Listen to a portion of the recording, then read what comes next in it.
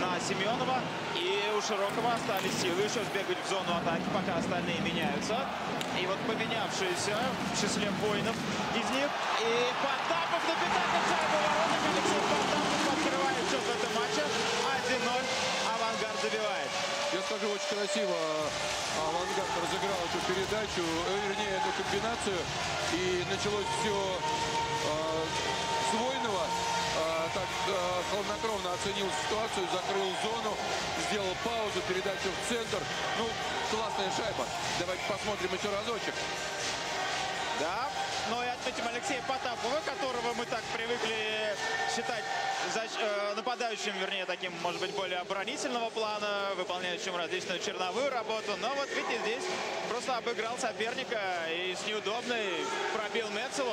Хороший, красивый гол. Попал здорово, девятку с неудобной. И так на коротке широк